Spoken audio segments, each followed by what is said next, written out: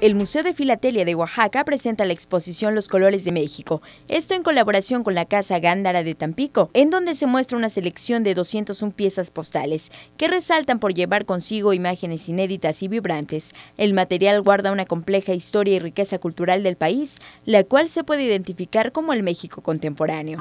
En realidad son una colección muy particular tienen gran personalidad. Los sobres pintados a mano realmente han estado dentro del correo durante mucho tiempo, desde que se inventaron los sobres, en realidad eran una forma de que las personas que enviaban su carta la personalizaran, la decoraran a su gusto, mostraran algo de su personalidad.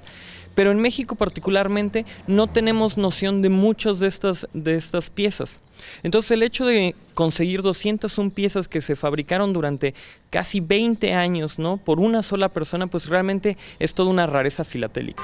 Los años 70 en México sirvieron como una corriente destacada, pues artistas visuales se daban a la tarea de decorar los sobres de correo. Es claro mencionar que estos elementos surgen en China durante el siglo II a.C., con la finalidad de resguardar la integridad y privacidad del contenido escrito, hasta que lograron convertirse en un icono de la comunicación. La exposición se armó en base a dos colecciones, una parte que tenía el Museo de la Filatelia y otra parte que pertenecía a Carmen Gándara Quintana, una filatelista que vivía en Tampico.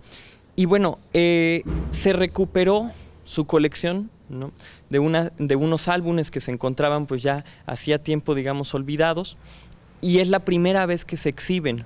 Entonces eso hace bastante importante la colección. La exposición es una colección única, pues no hay réplica de las obras y aunque cada sobre cuenta con una colorida intervención, siempre se respeta el timbre postal. Los colores de México se albergará en las instalaciones del MUFI hasta julio del año en curso.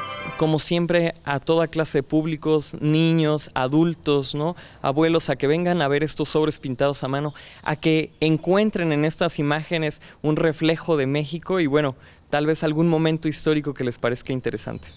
Con información de Vicky Ramírez para MBM Televisión.